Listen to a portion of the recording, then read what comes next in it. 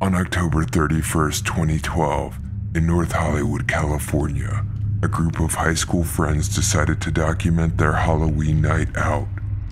This film is the compilation of footage found that night. In the late hours of the evening, LAPD was dispatched to the 7100 block of Laurel Canyon Boulevard in response to reports of gunfire. In their investigation, an effort was made to reconstruct a timeline of events from the night using victims' cell phones, personal video camera, and a location security camera. The LAPD has titled this compilation of video evidence as Loss of Life.